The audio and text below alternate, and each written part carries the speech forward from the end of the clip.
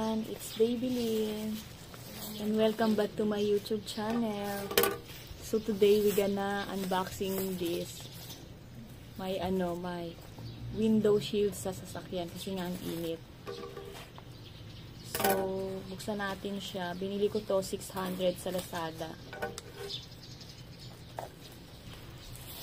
So, let's open it.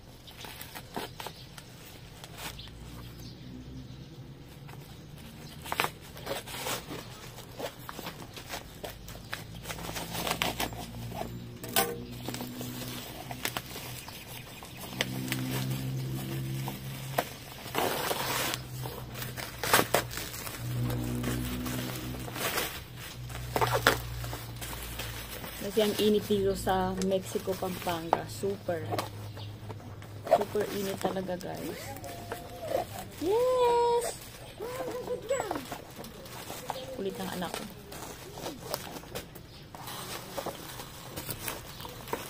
Ito siya! Sarang! Dang, dang, dang, dang. Dang, dang, dang, dang. Wow! O, diba? So, ito siya, guys. Ilalagay na natin siya dun sa aking kotse. So, ganito siya, guys, oh. Paano kaya to? Ah, maganda siya. Tapos, meron siyang pandikit. So, ididikit mo siya doon. Pwede mo naman daw putulan. So, meron siyang instruct, instructor. Instruction pala. Ano ba yan? So, pwede siyang gupitin kapag medyo mahaba sa, sa kotse mo. So, let's tara, let's check natin kung okay ba siya. So guys, andito tayo ngayon sa loob ng kotse. Ilalagay na natin siya. So ito siya. Dito natin siya kakabit. Ito yung parang ano niya ilak.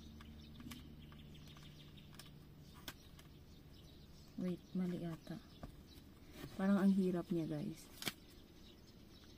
Ayan siya. Okay. Hmm, ganito. Ito yung pandikit eh. Super init talaga dito.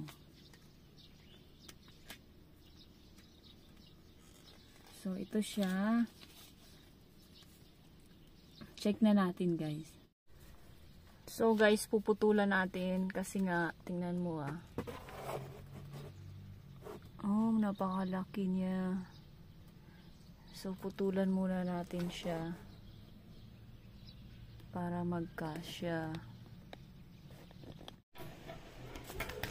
Ang hirap naman gupitan dito guys, super kapal kasi. Kaya inisa-isa ko. Inisa-isa ko siya ng gupit.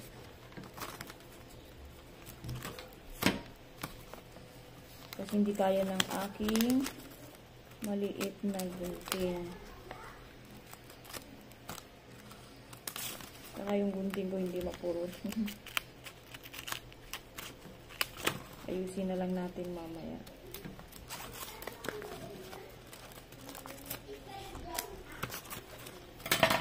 Hirap niya oh. Kapal kasi. Tingnan niyo ang kapal. So guys, naputulan ko na siya. Ayan oh. Hindi pantay yung putol ko. So ilalagay na natin siya ngayon. Check natin kung kasya. Ito siya oh, yung susi. Yung susi, yung ano ng salamin.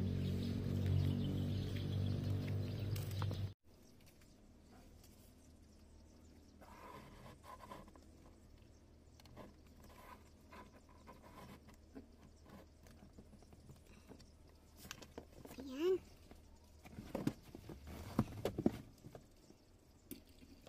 Ayan siya. Nakabit na natin. Tapos sihilain natin. Saglit lang. So guys, nakabit ko na siya guys. Doon yung ilalak, magulo lang.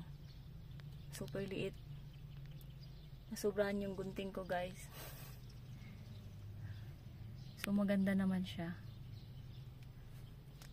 Ayan, o. Ayan siya, guys. O, ganyan. O, diba? Hindi na siya masyadong mainit.